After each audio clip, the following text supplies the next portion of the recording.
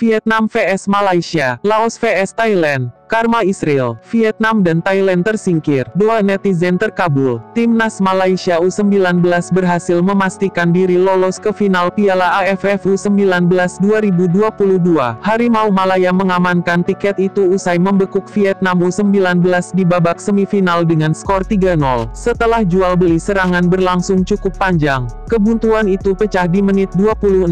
Adam Farhan berhasil mengoyak gawang Vietnam setelah ia merebut bola dari bek Vietnam dan melepaskan tembakan dari luar kotak penalti. Skor berubah menjadi 1-0 untuk keunggulan Malaysia. Gol tersebut membuat Malaysia kian percaya diri untuk menyerang. Vietnam juga mencoba untuk meningkatkan intensitas serangan mereka. Namun skor 1-0 tidak berubah hingga wasit meniup peluit tanda berakhirnya babak pertama. Di babak kedua, Vietnam meningkatkan intensitas serangan mereka. Sementara Malaysia juga meladeni permainan dari Vietnam. Namun Malaysia lagi-lagi sukses menambah keunggulan. Muhammad Haikal Sahar menjebol gawang Vietnam melalui umpan silang matang Muhammad Hakimi Azim Rosli pada menit ke-70. Malaysia memperbesar keunggulannya menjadi 3-0 di menit ke-85.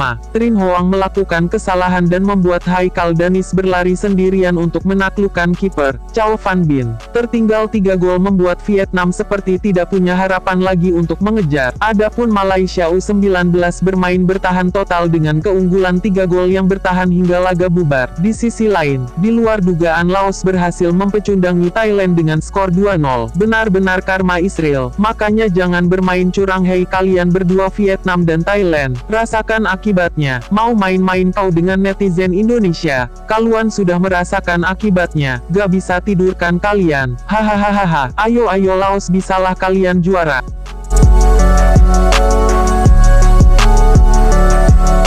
Bagaimana tanggapan kalian? Tuliskan di komentar ya. Jangan lupa like, share, dan subscribe agar kalian tidak ketinggalan info menarik kami selanjutnya. Thank you and see you on the next video.